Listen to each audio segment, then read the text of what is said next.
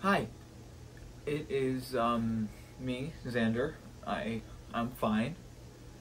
Um that that uh that video from yesterday is completely fake. I am in no physical uh slash mental danger. I'm completely fine. I'm in my own house. I'm attending all of my school.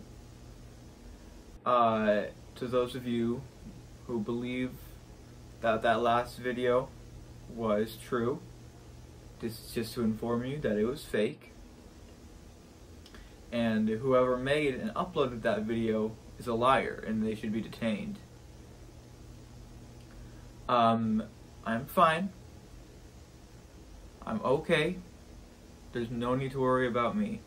I might not post as frequently as I usually do, but I am okay.